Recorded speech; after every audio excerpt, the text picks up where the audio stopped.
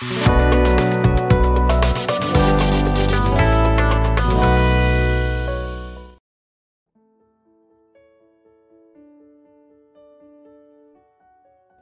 pagi, Shalom.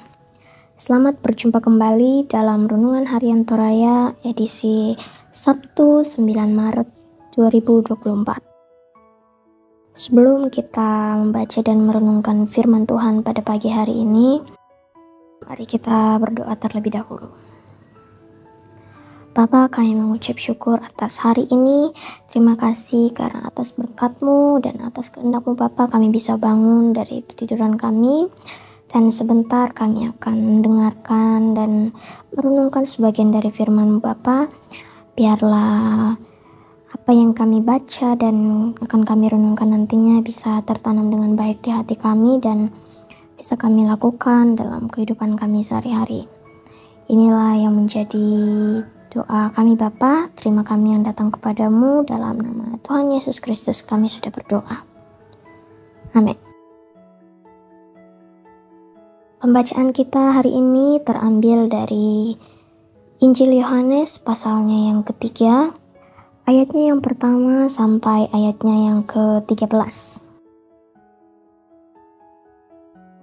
Injil Yohanes pasalnya yang ketiga, ayatnya yang pertama sampai dengan ayatnya yang ke-13.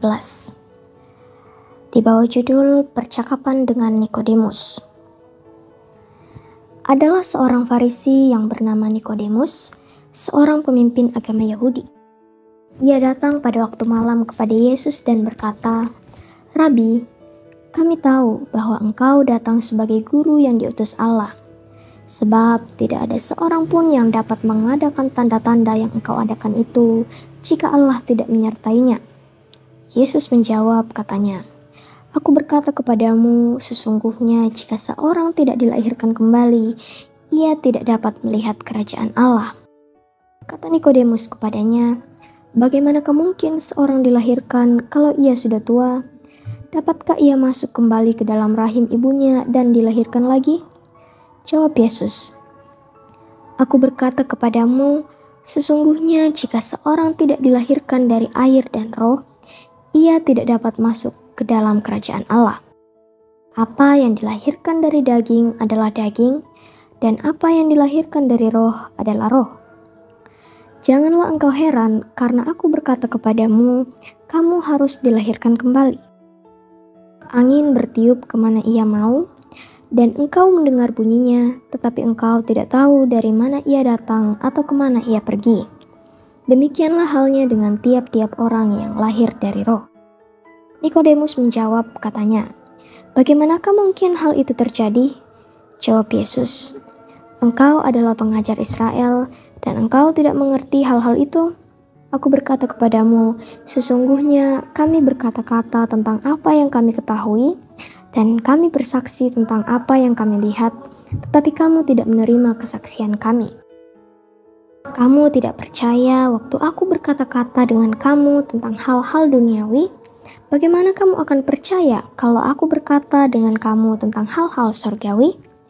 Tidak ada seorang pun yang telah naik ke sorga selain daripada dia yang telah turun dari sorga, yaitu anak manusia. Amin. Dalam renungan harian Toraya diberi judul Berhikmat dalam Roh. Perbuatan Allah sulit dipercaya jika hanya ditanggapi dengan logika manusia. Karena itu, Nikodemus datang menemui Yesus. Sekalipun Nikodemus adalah seorang Farisi sekaligus pemimpin agama Yahudi dan dijuluki pengajar Israel, ia datang kepada Yesus karena tertarik pada Yesus dan menghormati Dia. Ia mengadakan percakapan secara pribadi dan khusus dengan Kristus secara tersembunyi.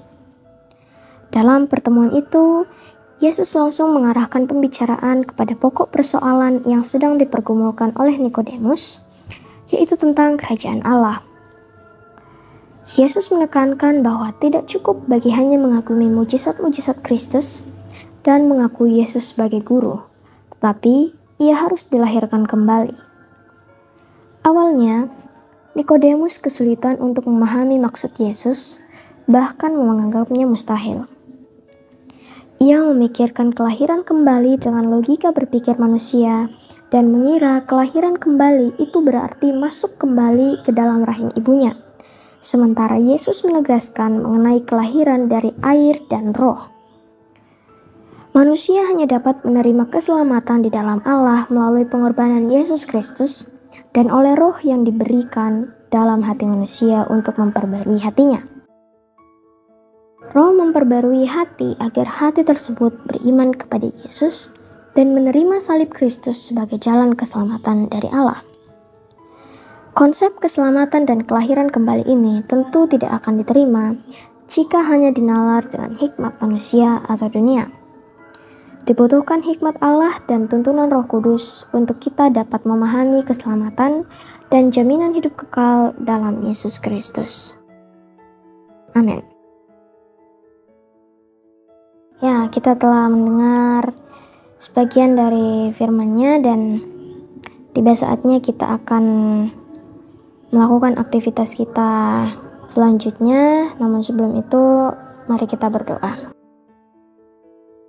Bapak, terima kasih atas penyertaan bagi kami semua dan terima kasih atas firman-Mu yang telah kami dengarkan dan telah kami renungkan pada pagi hari ini dan sebentar kami akan melakukan aktivitas kami.